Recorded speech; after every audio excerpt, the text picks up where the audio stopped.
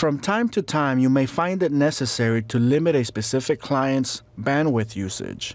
Whenever this is required, you can go to your WHM panel and on the Account Functions area, select Limit Bandwidth Usage.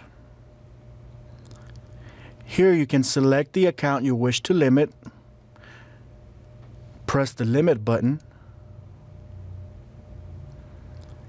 and manually change the bandwidth to the new limit.